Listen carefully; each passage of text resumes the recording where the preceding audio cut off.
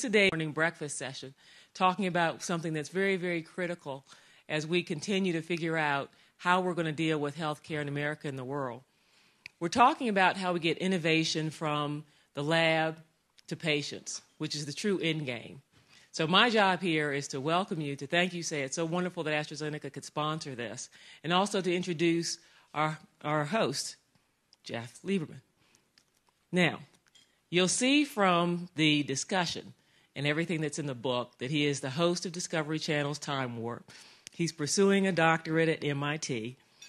He had, under that, he's actually done key things with developing and leading Cyberflora, which is a robotic flower garden that responds to people, as well as a robotic wearable suit that teaches motor skills. So it's very much a pleasure to have him host and lead this session. But I do want to tell you one other thing about Jeff, because Jeff and I had a conversation the other night, and I won't go into all the details that we talked about.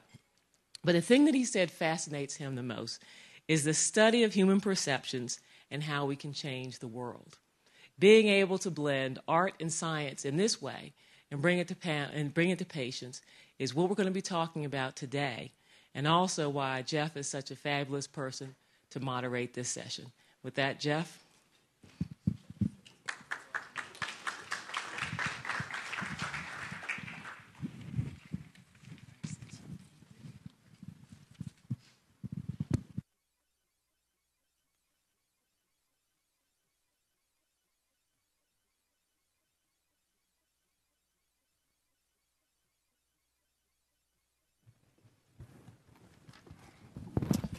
All right, thank you, Lisa. I'm going to, you know, after that intro, I'm going to just go right into it. She uh, gave you the overview of what we're going to talk about, which is how you take these initial discoveries that happen in a lab and get them into the patient's hands. I'm going to keep that as brief as possible because Alta's going to have to catch her flight in a couple minutes. So I'm just going to introduce Alta. We're going to get right into the discussion, and then I'll introduce the other speakers, and we'll open it up to questions. Alta Charo is the Warren Knowles Professor of Law and Bioethics at the University of Wisconsin Law and Medical Schools. She's a member of the Institute of Medicine and has served on the NAS Board of Life Science and IOM Board on Population Health, helping to draft reports on the FDA's drug safety population health, sorry, drug safety system, the ethics of transnational AIDS trials, preventing terrorist use of biotech research, and managing the smallpox vaccine program. She co-chairs the National Academy's Human Embryonic Stem Cell Research Committee and helped draft its national research guidelines. She was a member of the NIH Human Embryo Research Panel and President Clinton's National Bioethics Advisory Commission, and more recently served on the HHS review for President Obama's transitional team. So let's just get right into the discussion, Alta, and uh, tell us how we get these discoveries in patients' hands. Thank you. Um, I'd like to. I'd like to just first apologize because I am going to dash out to make sure I don't hold anybody else up on their shuttle. Um, I'm going to simply give you some basic background information for those that are not completely familiar with the way in which drugs actually get approved in the United States, because the FDA is alternately viewed as either a friend or a foe, depending on whether your main concern is speed or safety.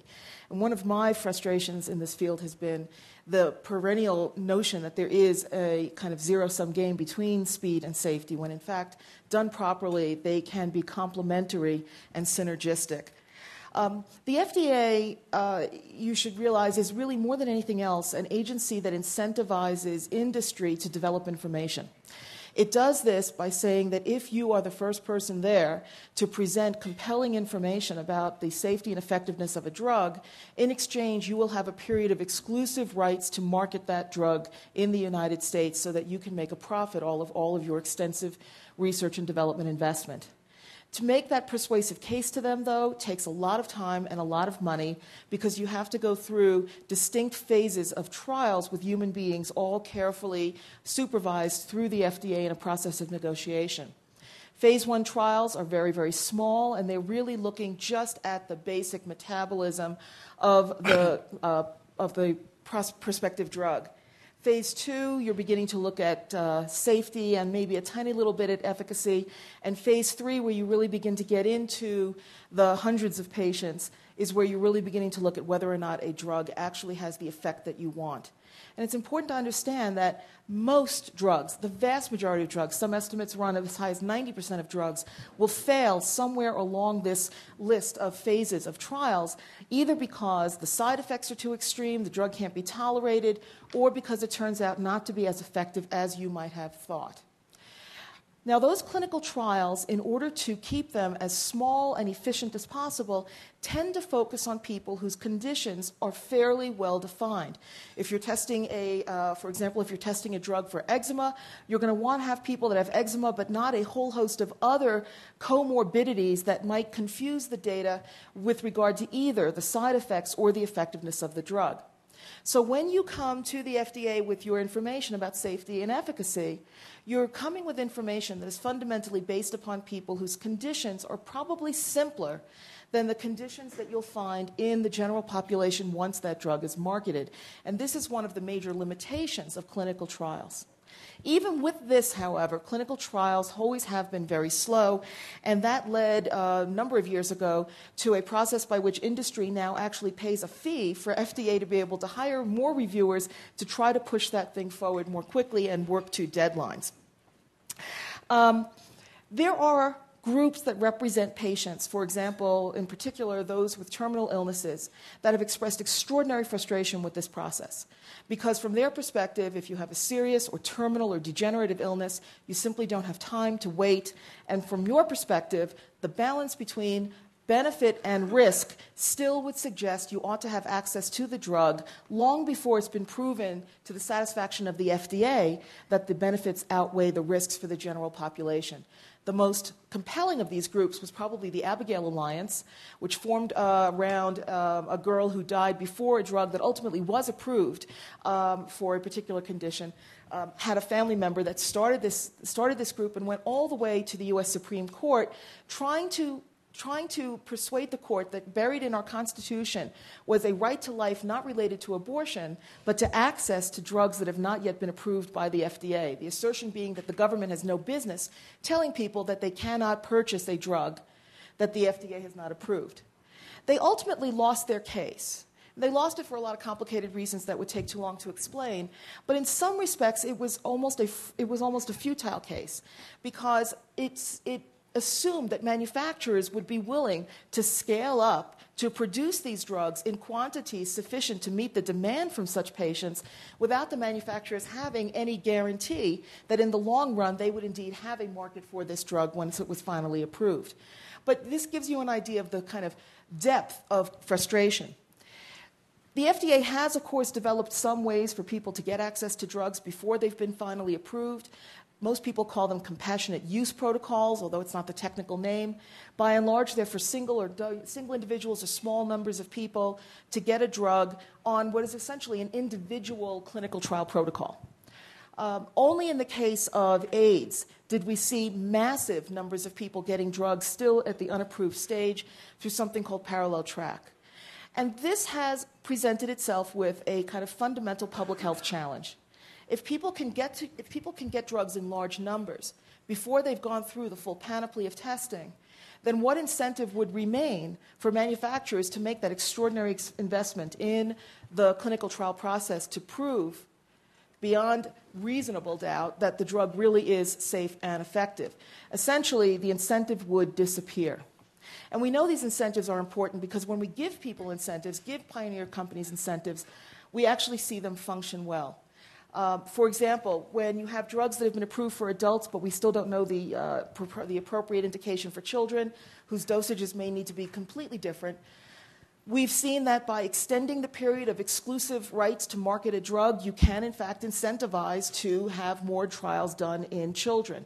When you have drugs that would only be useful for a small population of people, so no business plan would support its R&D investment, additional incentives in terms of extended exclusivity periods, again, would, would provide effective incentives to develop so called orphan drugs. So we know that there is this link between exclusive periods of marketing and the incentive to actually invest.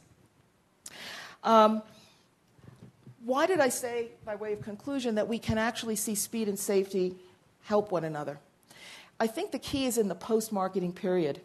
Up until very recently, the FDA had very limited authority outside of the bully pulpit to really force any kind of exploration of how these drugs function once they are out in the world. out in the world where they're being used by populations that have much more complicated medical conditions, populations that are older and younger than the ones that were enrolled in the trials, and populations that are using the drugs for reasons different than the ones for which they were originally tested, so called off label use. A pattern that is perfectly legal, very common, particularly in pediatric and cancer populations, uh, where the prescribing practices are based upon academic articles and other kinds of anecdotal information, but they are not based upon clinical trial data that has been independently reviewed by the FDA, FDA as a neutral arbiter. Um, and in this post marketing period, there's a lot of opportunity to learn more about a drug and to begin now, post 2007 amendments, to begin to make very uh, judicious changes in how the drug is sold, what kinds of special tests might be needed before somebody can get the drug, what kind of monitoring might be necessary to follow up on the drug, so that you could, in this pre market approval period, take more chances, move drugs more quickly even though you know that there are shortcomings in the clinical trial process, because there's a chance to back up and catch the problems later on in the post market period. This would be the answer to something like the classic dilemma with Vioxx, where its pre market testing looked pretty good, but out in the real world, where its use among, for example, arthritic populations meant it was being used by populations that also had comorbidities that made them susceptible to heart disease, led to a difficult to detect but discernible, ultimately discernible uptick in heart disease among people using this. That's the kind of monitoring which, if done systematically, might let you be more confident the next time and not have the pendulum swing back to an extraordinarily conservative, risk averse position in a post Vioxx period. I apologize for running through this, but I don't want to keep anybody from getting to the airport on time. Thank you very much. Thank you. All right, I'm going to just. Sure, you have time for one question walking out?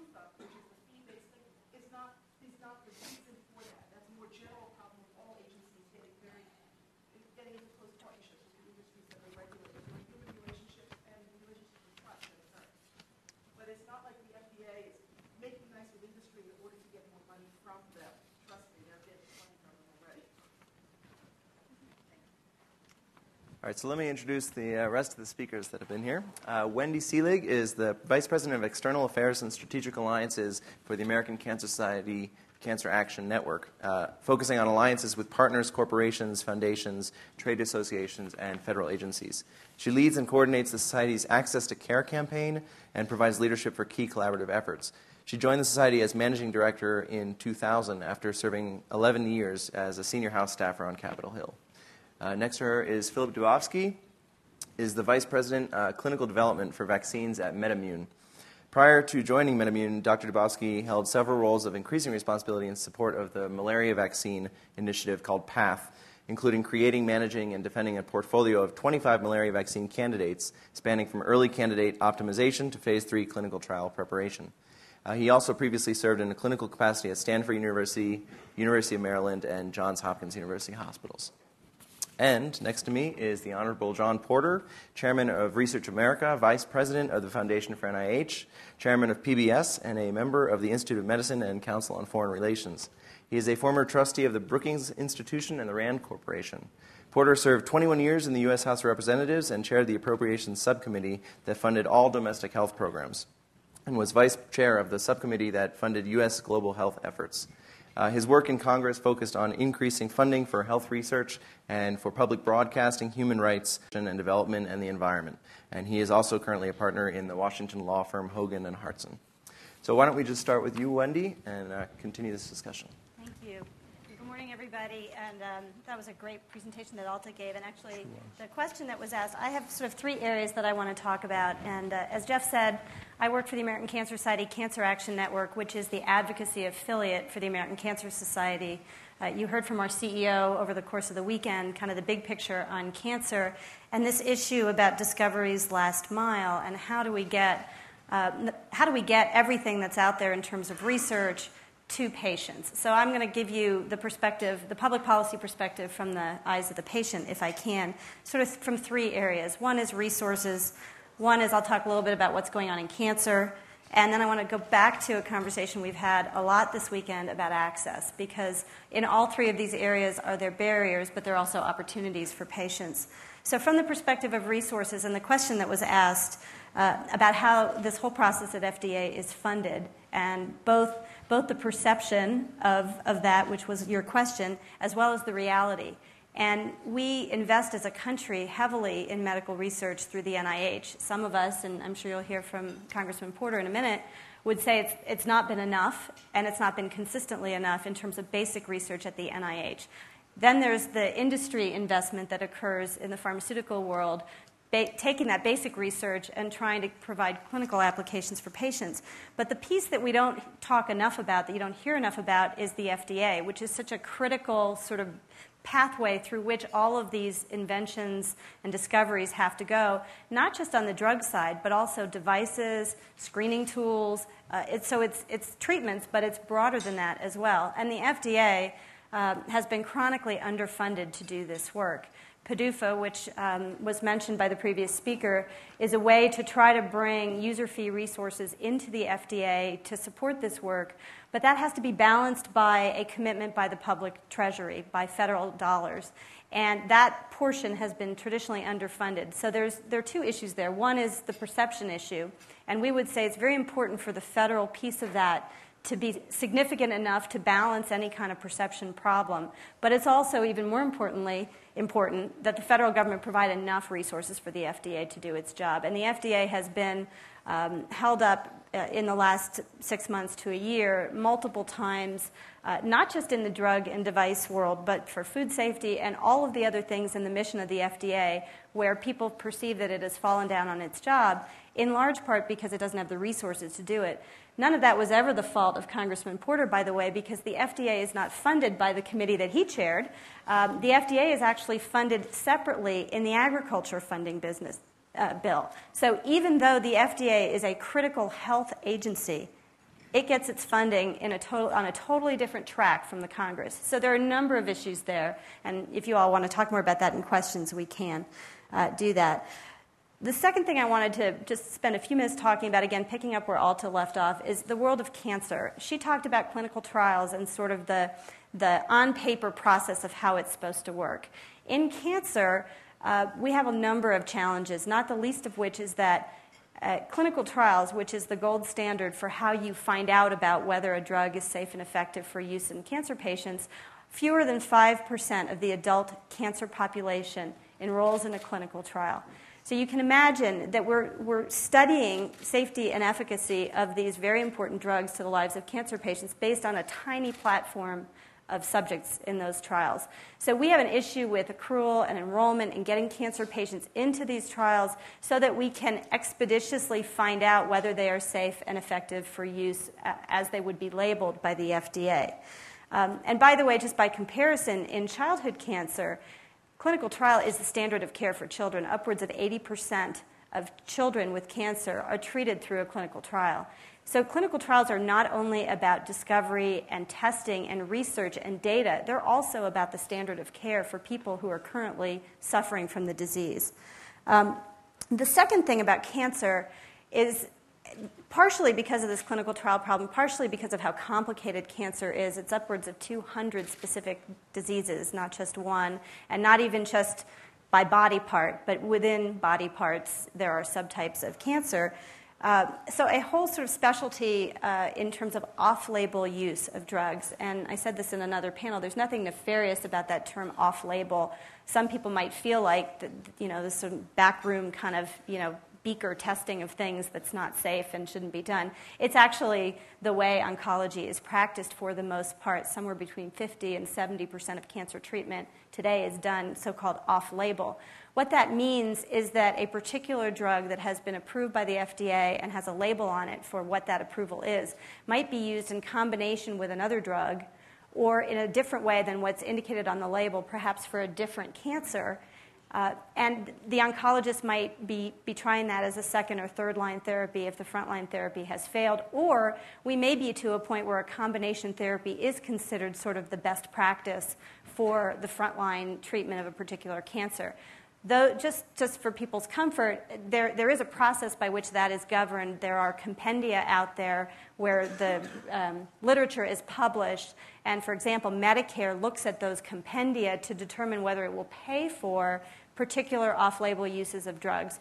So um, we have this, this manner in which um, incremental knowledge about cancer treatment occurs. You, you get a drug that's been approved by the FDA for what its labeled indication is, and then you have a process out there where, in real life, in practice, it's being tested in, in different ways for patient use. Um, Alta mentioned compassionate use and the Abigail Alliance. I just want to say um, that is sort of hap- that that whole case happened kind of in the cancer space. So we, we were very involved in, in thinking about that. And there's a real trade off that exists uh, between wanting to, as quickly as possible, get effective therapies to patients who are um, in a critical situation and dealing with cancer on the one hand. And on the other hand, if you go back to what I said earlier, uh, we don't want to dismantle the clinical trials infrastructure as imperfect as it currently is for cancer patients. And so there is this tension, and the compassionate use policy that FDA has developed after a very long process, and they've produced a, a regulatory framework, which I don't even know if it's officially final, but it is, I think, in practice what occurs, attempts to try to balance those competing interests between individual patients who very much want to, you know, they're willing to stand up and say, look, it's my body, I'm willing to take a risk that you know that we heard Billy Tauzin yesterday talk about you know you're either to die or I, forget how he said it, but he was basically presenting that, that choice that patients sometimes face. Are you going to roll the dice with a treatment that could kill you, or are you going to die from your cancer? And so you can understand why an individual in that situation would be willing to say, look, I, I, I'm willing to take this risk with my body. But on the other hand, you want to make sure that you're gathering data so that we continue to build patient by patient and class of patients by class of patients so that in the future our children and their children will have more effective treatments. The last thing that I want to say um, is about access. Um, and again, this is called Discovery's last mile, but you know maybe the last hundred yards of that last mile is what we've spent the whole weekend focusing on. And that is, let's say you get something all the way through this process, and there's good data that says it's safe and effective, and you need it if you have cancer. And what happens if you don't have insurance or if your insurance is inadequate and you can't get it? So we can't forget that part of Discovery's last mile is in the delivery system and in the insurance system for patients. And that may have to do with whether they could even be treated with it, that may have to do with whether they can afford it. Uh, we've been talking a lot about cost of healthcare reform over the last several days. One of the topics that has not been discussed as much is the individual's ability to afford their treatments. And even if you have insurance, 20% of a high number is still a high number. And so, out of pocket costs for individual patients is something that we are very focused on in the context of healthcare reform, making sure that we say to, we say to the universal population, you have insurance, but that that insurance is adequate to cover what you might need when you get cancer. So, with that, I think I'll stop. Thank you. Thanks. Filip, please. Okay. Uh, I'm going to focus my remarks on barriers to advancing new technologies and basic discoveries into, into products. And, and these basic discoveries are really uh, where do they come from? They come from academic labs and government labs, from NIH, from the universities um, really around the world. And the scientists that work there are excellent at solving puzzles, following the next clue, and they're rewarded for doing that with scholarly publications and, grants uh, and, and promotions and so on. But what they're not good at is doing that next step. And that next step is really translating those basic discoveries into, into products. And that's where the product pipeline is at its widest. We have potentially um, many logs, many, many orders of magnitude more innovations which should eventually become a product. And it's whittling those down, which is a tricky bit. So there's a huge knowledge barrier up front after these basic discoveries are made because the application to the specific disease process isn't clear. So when a new discovery is made, is it going to work for lupus? Is it going to work for rheumatoid arthritis? Will it be a vaccine adjuvant? These things simply aren't clear. And history has taught us that when people think they know what they're going for, they're usually wrong, and it ends up being useful for something, something else. So th- there's that initial huge knowledge barrier that has to be gotten over, and that can only be done really through further research and uh, iterative process. So those that understand the basic discovery don't actually necessarily understand, have the expertise or understand the disease process they're gunning for or how to apply that. They don't understand the product development path nor the regulatory quagmire they've got to weave their way through. So who does do this? And, and currently, it, it, in my mind, it lives in about four buckets. There's a large pharma, large biotech, then there's indus- industrial and developing countries, and this is done by various, think of China, India, Indonesia, Brazil. There's some up and coming uh, groups there who actually have this capacity to drive these products forward. And then in the last 10 years, we've seen a large effort in the US around NGOs, non government organizations, who have actually assembled teams of scientists who are able to push these products forward to the next step. So, um, where this all resides in one giant bucket is in the large biotech and large pharma space. They have in depth knowledge in all the functional areas needed to take these discoveries and actually get them to the patient in the end uh, and hopefully improve their health. Um, but um, it's tricky because uh, the large pharma is not nimble. We don't know how to do things uh, cleverly or fast. What we have is a lot of horsepower. So when you throw something into the machine, we flip the switch, and this giant effort goes forward. And to justify that, you have to be able to uh, understand that you're going to be able to get um, enough resources in the back end to support the effort you just invested. So I, I, there's this other thing which, which has generally been the tech transfer out of the academic and government labs to either technology companies or biotech companies. And that uh, is something that I see as a huge barrier. And the reason is that the tech transfer offices, offices in, in the government and the academic labs uh, are always trying to get as much value as possible to um, support the innovations that they've discovered. But the real value of those discoveries aren't clear. It isn't clear if you're going to need four additional bits of intellectual property to generate a product at the end. And this leads to royalty stacking, where you may need to get um, four or five different patents or five different innovations from different groups before you can develop a product. And it slows the process down. And this is a critical problem for uh, the small biotech and small uh, technology companies because they don't have time even if they have money, they only have their value is only worth really you know, around their IP and the money they have in the bank. And if it takes them 10 months to negotiate licenses, they're out of business. That's too late. So there's a, there's a real disconnect between the innovation itself and the uh, technologies and, and discoveries that go with it to actually develop into a product. Yep, I think that's. I'll stop. John? Let me uh, start by saying that I'm no expert in this area. Um, I did not have FDA under my jurisdiction, as Wendy just described. It was over in the Agriculture Subcommittee on Appropriations. Tried to get it, but there was a lot of resistance to uh, giving up that jurisdiction. And um, so I, I, uh, I've looked at the, what I see as the obstructions to um, getting discoveries to patients. And it seems to me one of the reasons uh, is that policymakers have very little understanding of the whole uh, translational clinical research process. Uh, partly that's a result of only 4% of the House and Senate having any science background. And that to me is a serious, serious problem. We need more scientists to stand up and run for office. Uh, Bill Foster in Illinois ran, as a physicist, ran for the seat that was occupied by the Speaker of the House, a Republican, and won it. I think that's a good model for others. We need more scientists in public office. But even if they, even if they were there, I think there's a, a um, the, the whole enterprise is uh, kind of ill defined, badly organized, lacks uniformity of standards and uh, transparency. And I, I don't know this firsthand, but the clinical research forum that I've had dealings with has said that it really needs to, someone needs to really look at the whole area and, and organize it much better. Uh, I know that the uh, former commissioner of uh, FDA, Mark McClellan, uh, initiated the Critical Path Initiative to try to look at the whole area and, and the operations of the agency and see whether it can be uh, improved, and they're still working on that at FDA right now.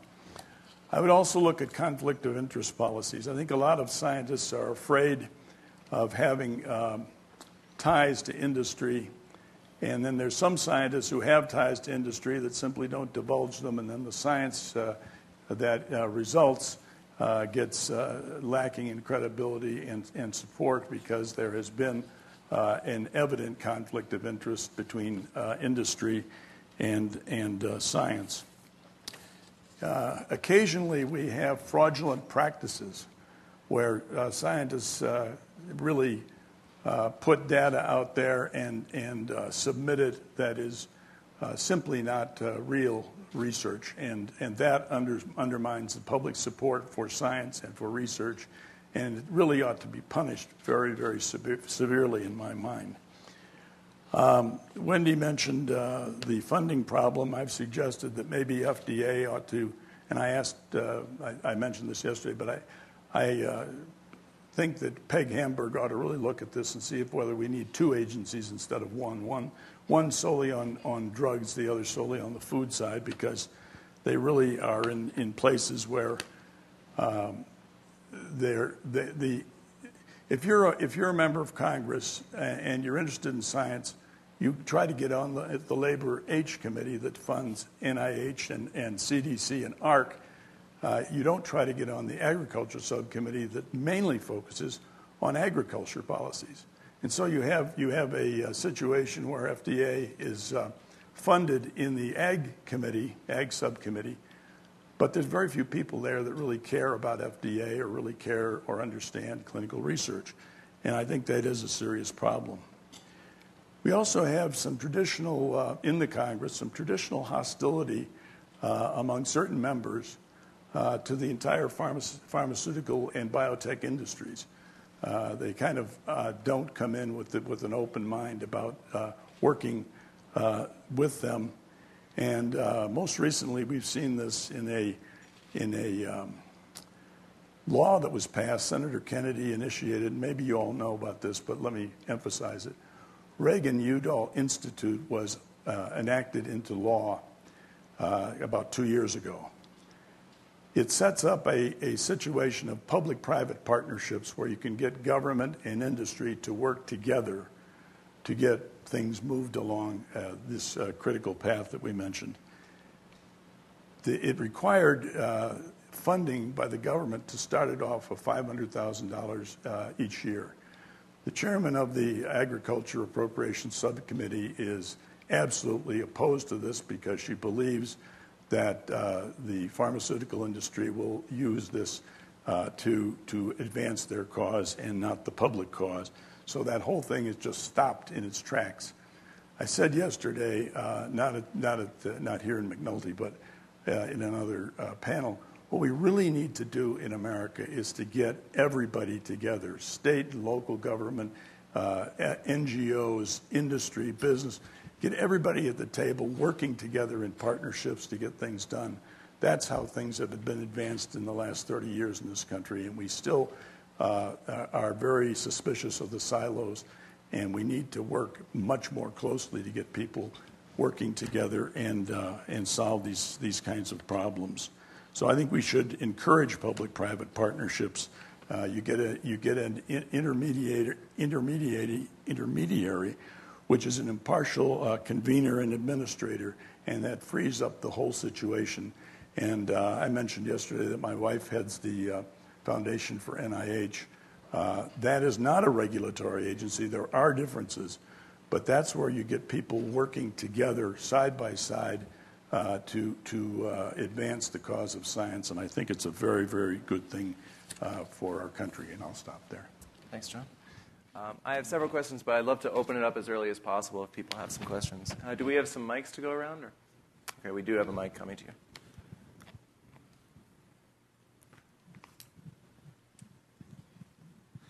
Two questions. Uh, the first one a few years ago, I read a study about hormone replacement therapy that said that it increases a cancer risk, but it seems like it's still We're still doing lots of hormone replacement therapy. So I'd like to understand that. Uh, the second one, my wife said last night when in the hotel room there was an advertisement for drugs for depression, and it said, if you're already taking a drug, why don't you add this one to the mix and ask your doctor about it? So I'd like to understand a little bit about advertising in the drug industry and where we're headed there. Well, I'll, I'll take a shot. Um, and, and we may have others in the room actually who can, who can help, uh, help me with this because I don't have a science background. I have a public policy background, and so I rely very much on the bright minds um, at the American Cancer Society. Uh, with regard to the hormone replacement therapy, there was a, obviously a, a, lot of media and publicity. Uh, I think it was within the last couple of years uh, as people started to understand um, the unintended consequences of something that was pretty widely recommended and used by women. Um, and a lot of discussion about potential unintended risk of cancer. And I believe since that time, uh, many women, in working with their doctors, have opted not to pursue that course.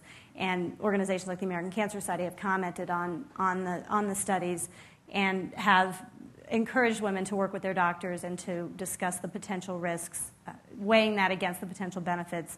But, but I think that there was some pretty clear data about this unintended consequences. I don't think anybody set out to sort of, you know, sabotage women and say that if, if you do this, you will, you will have this problem. Phyllis Greenberger is here, and so uh, maybe she could get the mic and help me out with that one. Just, just as that's happening, let me comment on your second question about advertising, because there, that, there is a big discussion about that that happens in Washington, the direct-to-consumer advertising that occurs. Um, there are a whole host of issues that are being discussed about um, how best to, to deal with the, again, the tension that exists between individuals who want to take their own care in their own hands and be armed with information, and whether that's television advertising or wh- whether that's information you can find on the internet. Um, you know, on the one hand, we are encouraging consumers to know as much as they can, to go into their doctors with their files, and, and to be an active participant in their care.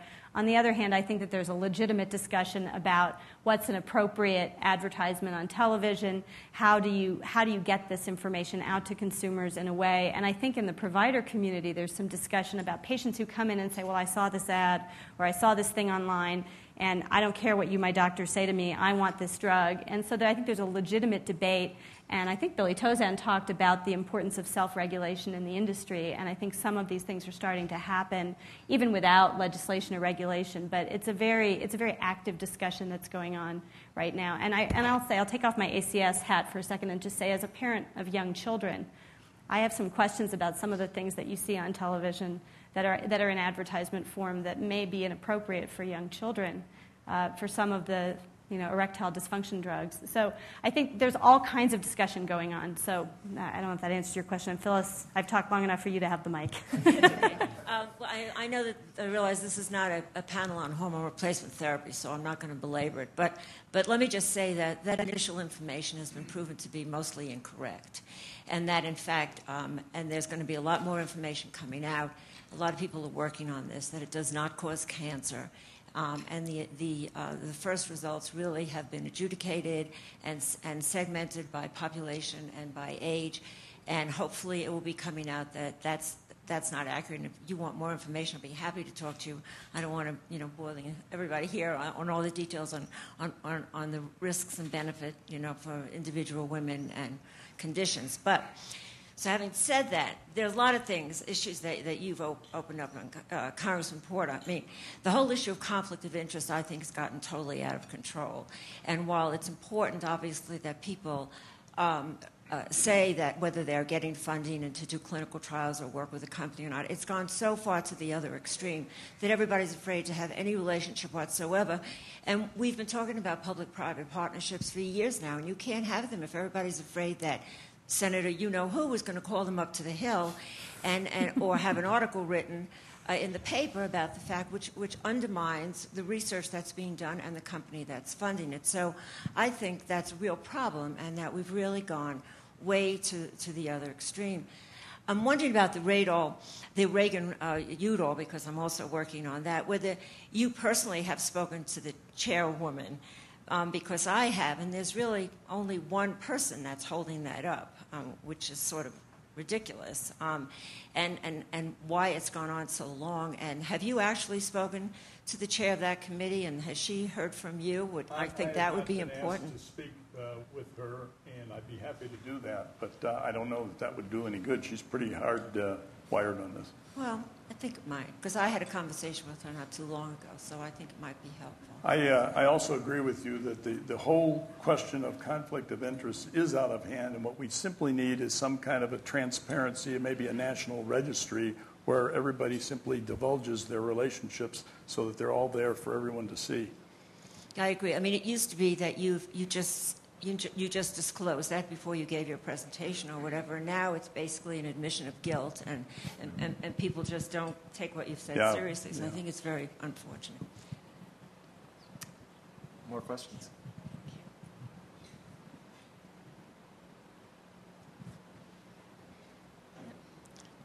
Mine will, ju- will just be a comma specific question. Uh, when it comes to phase one, phase two, phase three type of clinical trials, there's a lot of rigor and standardization in what is done so that it doesn't matter where the clinical trial is done, even if it's done in developing countries. There is an understanding of what the methodologies are. The, the stop and go criteria are very clear. But when it comes to the post registration type of research, the access and delivery research that is done after that period, there are no clear guidelines, there are no clear methodologies, the start and go. Uh, in, uh, the whole area hasn't been managed properly. And I think, I personally feel that we are reaching a stage of irresponsibility if we don't start to see how we can structure, manage, and make sure that we teach properly that area of research so that the same quality of, of, of, of undertaking follows through the whole chain.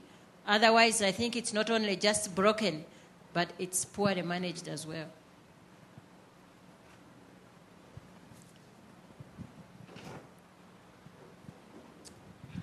Um, you know, the last hundred years of medicine has mostly been about chemistry, and we're moving forward into an area where we might be able to deliver some.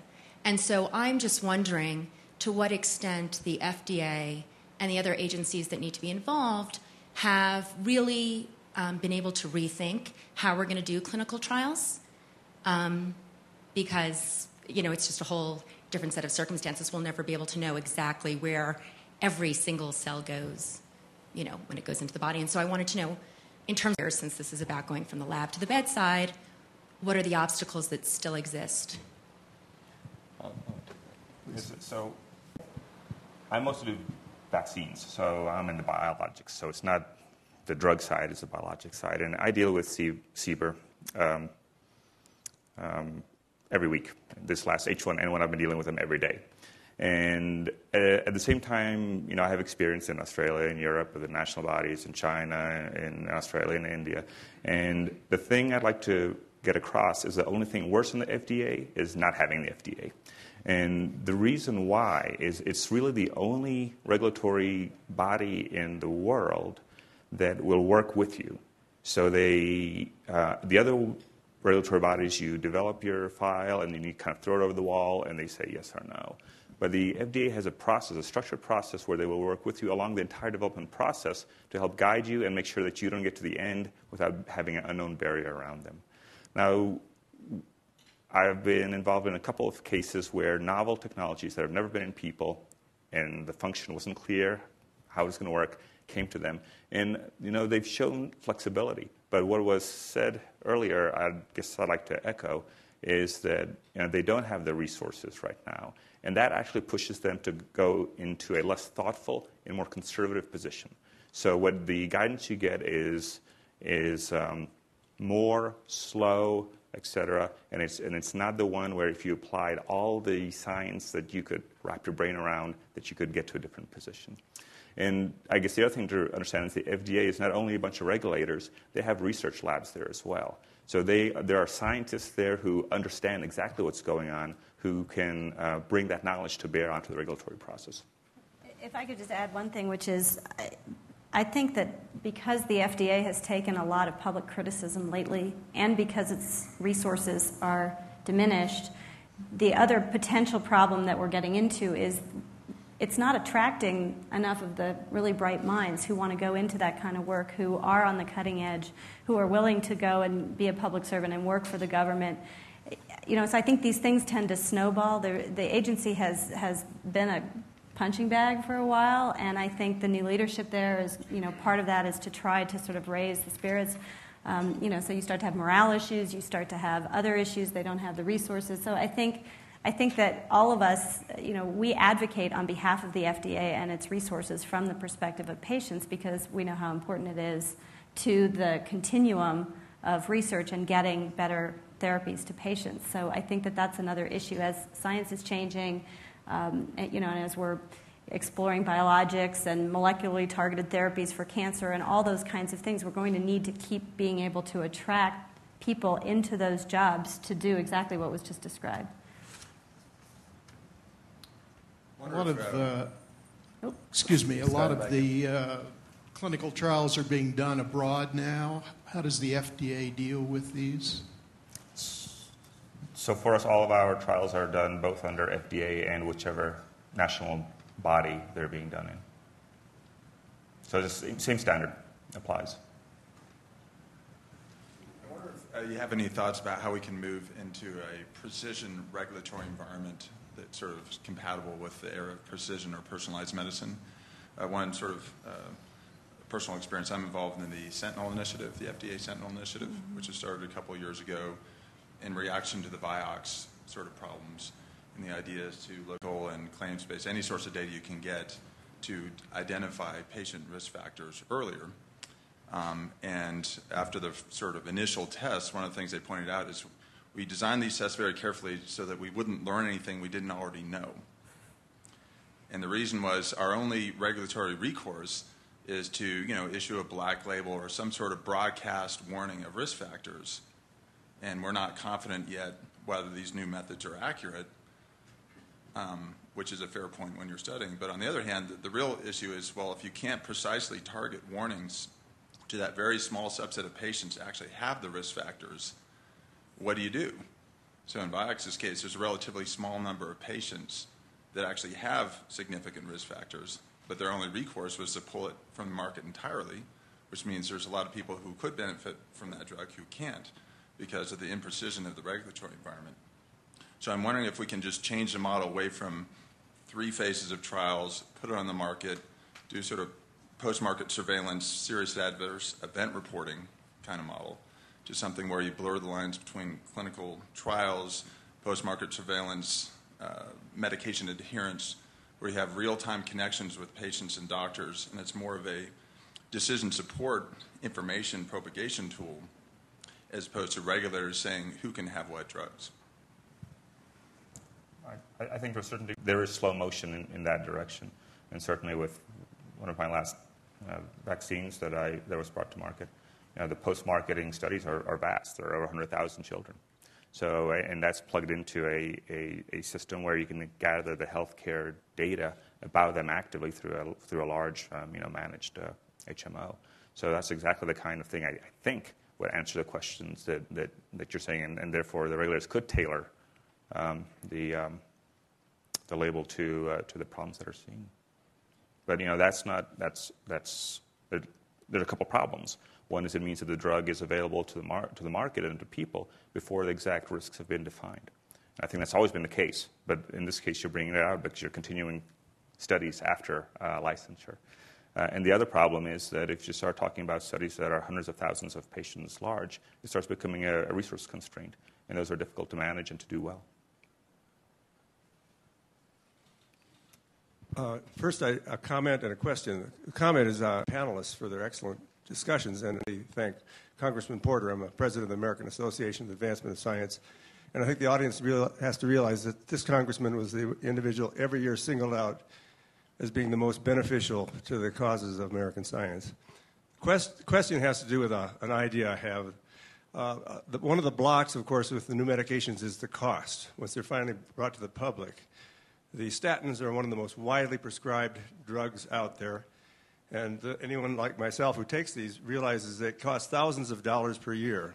And the pharmaceutical companies always argue that because of regulatory delays, they need to recover their costs by having exceedingly high prices and refuse to negotiate prices.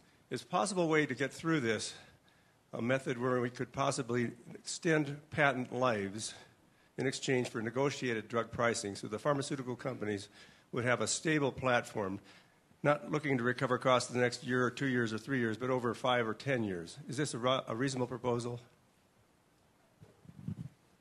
In my side of the business, but I'm happy to talk about anything basically. I mean, it, I, I, think patent, patent extension is always something which is appealing to, the, to, to industry because it means that your revenue is, is more or less assured. And that means that there's less risk uh, in, in what's going to happen in, in X number of years. And that allows you to take more risk in the development side. The, you know, the, the costs to develop a new drug are, are very, very high. Uh, and, you know, what's the real cost? Who knows? Uh, half a billion, uh, $750 million perhaps, depending on what the drug is. Um, some are cheaper and some are more expensive. It really depends on the indication and the populations that you have to study the drugs in. So to, to make sure that we can continue to do this kind of research and bring new medicines in, we have to be able to support that entire effort somehow. So I, I, I think that probably people would be quite happy to have extended patents. I think the tricky part is how you would negotiate the price down on the far side. Because the whole patent expiry part allows competitors to come to the market and therefore drive the price down. So there's a, there has to be some sort of a balance there. And these issues are being, you know, as we sit here, hotly debated on the biologic side as part of healthcare reform in the Congress with the whole question of how long is the protection going to be for a brand name biologic before generics or biosimilars can come onto the market. So they're having this exact debate about cost and about recouping cost and about innovation and orphan drugs and uh, you know all of these issues uh, on the biologic side right now. And it's coming as part of healthcare reform so it's coming with that sort of overlay of cost to patients cost to the system. And you know i think that the basic theory that most people have is that there should be some protection, there has to be enough incentive, how much is enough, and then at some point there has to be an ability for open competition, and that that competition will lead to the reduction in cost.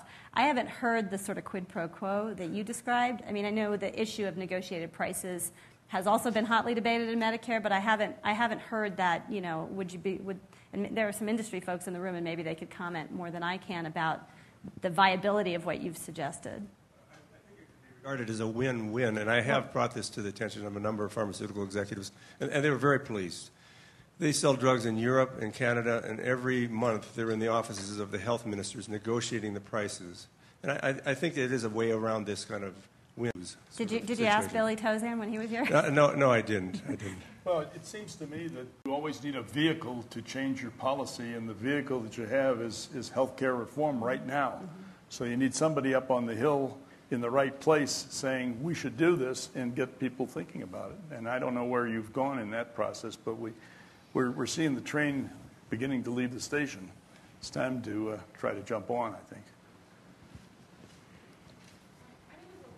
My name is Elizabeth Kittrie, and I'm in uh, the HHS Secretary's office where I coordinate innovation issues, and I also sit on a, a White House a working group on innovation issues.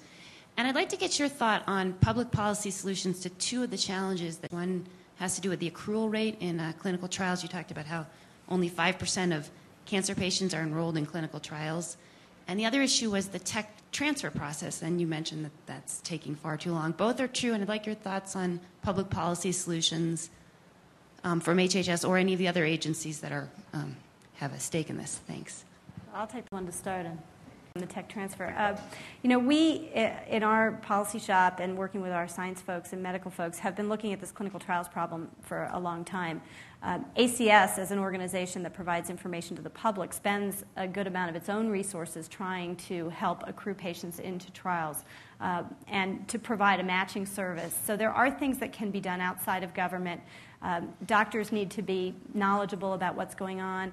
They need to refer their patients into trials. There are some barriers there. you know, some physicians want, you know, they're not conducting the trial in their own clinical setting. They want to maintain contact with their patients, so there are those issues.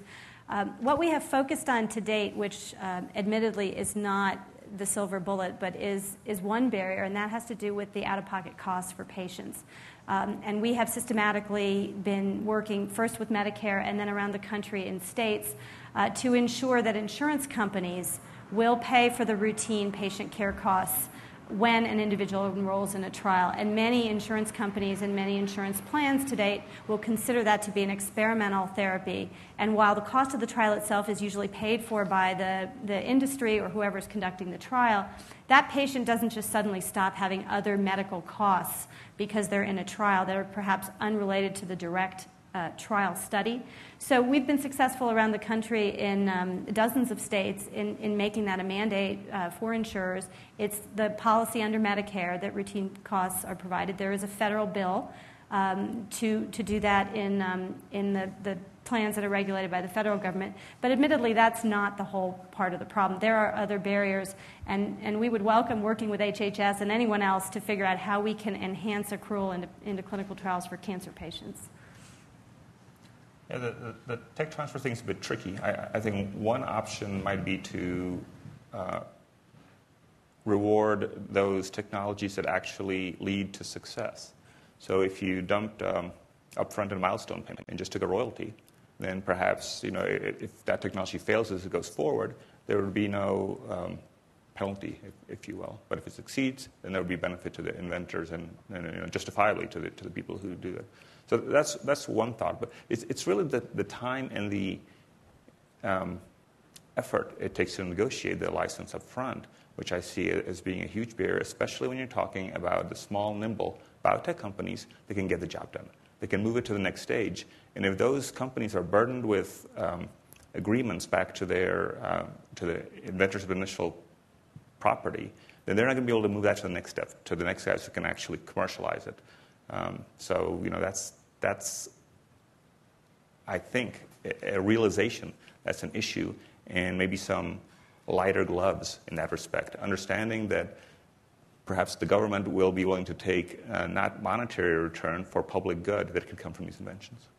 The, uh, Elizabeth, the only uh, experience I've had in, in, is in respect to the NIH Tech Transfer Office that takes intramural uh, discovery or intellectual property and tries to work with industry to get that out. And I would, I would urge you to look at what policies are followed there uh, and try to focus them on, on uh, what is best for the patient out there and how, how you can work with, uh, with uh, industry to move that along the path of, of further uh, applied research and discovery uh, that will get to the market and get there quickly. There's obviously a lot more questions still. We're out of time, unfortunately. Maybe if you guys have a little time, we can come up for questions. I just want to thank the panelists, Wendy, Filip, John, and of course, Alta, uh, for coming.